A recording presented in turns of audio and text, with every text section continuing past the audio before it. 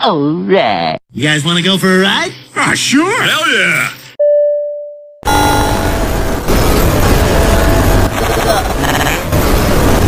We're gonna beat you so bad you'll think you gave Chris Brown an STD.